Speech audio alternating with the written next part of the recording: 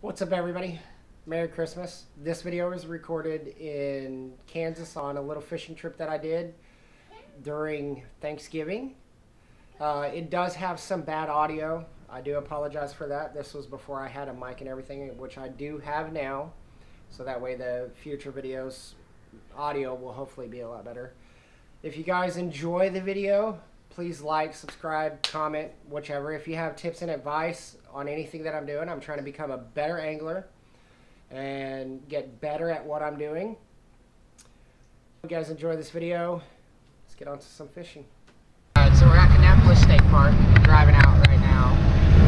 Um, all the way from the surf side. I don't know if you can see that sticker or not, but uh, I may throw some footage from that in here because there are some really cool scenes. Um, but I'm gonna go down and try to finish fish down in the spillway down here. Uh, there's a big dam coming out of this lake. Uh, river feeds into the dam. I, I don't really know. Anyways, um, so I'm gonna try to go down here and see if I can do some fishing. See if and what I can catch down here. I I was down here about a year ago at the beginning of this pandemic thing, and uh, I seen a lot of people fishing down here, so I figured I'd give it a shot. Try to catch some stuff down here. Um, but let's see how it gets it, how it goes. It's noon right now, so I'll probably fish until it gets dark. And oh, they got some more construction thing. Oh, okay, that's all right. So I mean, it's pretty cool. Kanopolis Lake. There's the spillway dam down there. I don't know if you guys can see that really well, but I've seen a lot of people fishing down there below that one point. And evidently people are catching like walleye, saugeye, catfish is what I saw people catching last year down here. Um, it's a little bit of a walk here, but I'm going to try to go around to the other side. There is a point, I don't know if you can see it, but on the other side of the river over there, there's a point. I'm going to try to go down and fish. Uh, I am going to start right down here though, because they stock this with trout or something every year. So let's just pull out a small rod, see if we can catch any little bait fish or anything. It'd be nice if I could catch some perch down there, um, especially to take over there for for catfish. Um, I know that in this lake people have caught channels, flatheads, stuff like that, but I'd like to target a flathead today if I can. Catching a nice sized flathead would be awesome. Catching a walleye would be awesome. I've never caught a walleye because I'm from Texas, further south, and we don't have walleye or anything like that, or especially trout down there. So I've got all my licenses and stuff. I'm gonna try to see what I can catch here. We got to get ready to go. It is a little dark in my truck. Um, as you can see, windows are all blacked out in my F-250. But let's see what we can get into.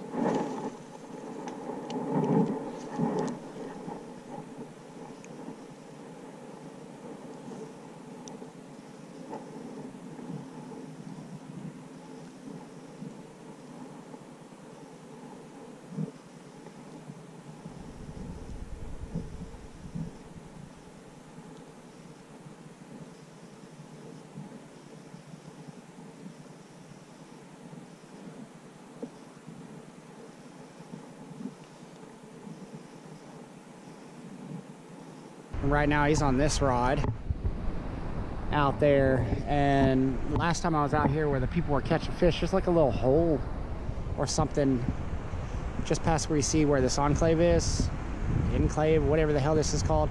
But just on the other side there's a little hole down there. You can see where it kind of clears up. And um, last year in about an hour I seen these two guys pull probably 15 20 catfish out of there. So I went ahead and set up for that um, I'm fishing this. There's also another little hole right here. And I know this because the water was really low. um, last time when I came out here, and there you could almost damn near walk across like right in this area. It was only about a foot or two deep. Um, but I'm fishing this little area hole right here to try to get some bait. I'm about to get another rod set out with probably some chicken liver just on this side because uh, I did hit this spot last night for about uh, 30 minutes or whatever and all I had was some chicken liver. I was getting a lot of hits right here. So I'm gonna set set one out with chicken liver and then I got this one out with the crawfish. So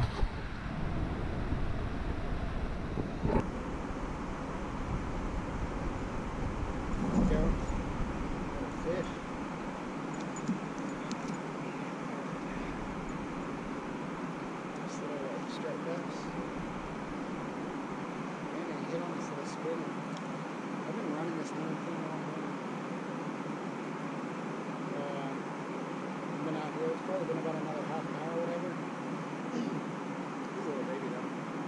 Shit. I guess because it's cold, I had to like slow down the. After wait, I was pulling it in, and then they started hitting.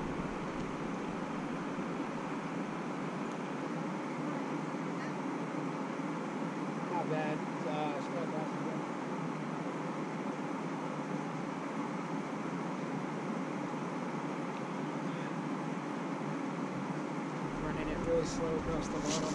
Actually, he's, he's bigger than the last one.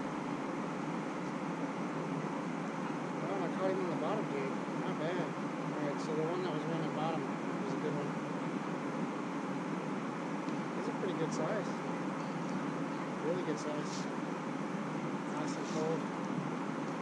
Yeah, pretty heavy like that. I don't know if he's keepable. I don't know what regulations are, but we're going to find out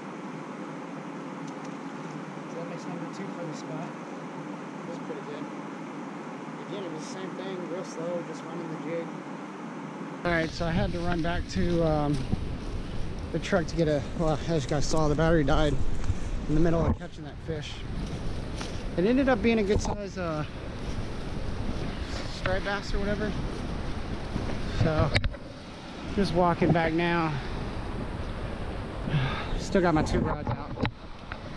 But I, I tied a rope to them and stuck it in the ground so that way I wouldn't have to worry about it. Sorry if the sun's in the middle of the camera. Also I got a light, bottle of water. Because I haven't drank any water today. So, but right on back now, nothing seems to have touched anything. So species of the day is striped bass. White white bass, striped bass, whatever. I think it's called striped bass. I don't know, but um, let's get back to it. the... Holy crap, I don't know if you guys just saw that. That was a big fish. Alright, I got another one. I don't know, I'm just What we got?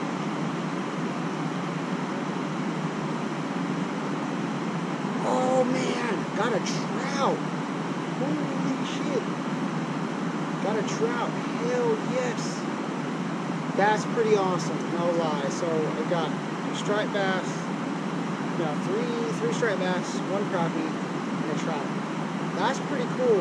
I'm not gonna lie, that's pretty cool. This is oh wait. Is that is that a trout? Saugeye maybe? I don't fucking know. I'll have to look it up and figure out. That's pretty cool though. He's, but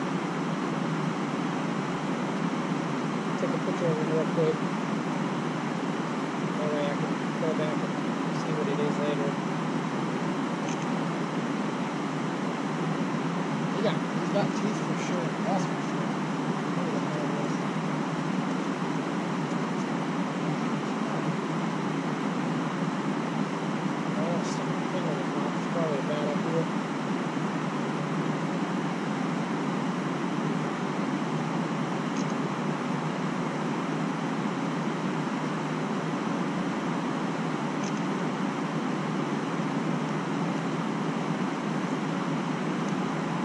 Never caught this kind of fish before. Oh, wait. Uh, walleye and saw. Maybe that's a walleye, maybe it's a baby walleye. I mean, I don't, I don't really know. That's pretty cool. That's the first, first one of these I caught. You know, I, I'm from Texas, so you know, we don't have a lot of these fish up there, or we don't have any of these type of fish. This thing looks crazy, though. Got teeth. I mean, I go saltwater fishing, so not that big a deal, but that's pretty cool. So, uh, three species today, and I, I caught it on the same jig I caught that that crappie on. I caught it out there in a little bit. And all I'm doing is uh, pulling in about a foot or two, and then pause, pull, pause. And I mean, that's the second one in like 10 minutes. Second fish in 10 minutes. I mean, they're not keeper stuff, but it's, it's cool for like just learning. Alright, sorry if it's kind of loud. I'm, I'm sitting in the truck warming up right now. Um, but not not a bad not a bad day. Not a bad day. Uh, caught quite a few fish. Um, as you guys can see, it was a good day,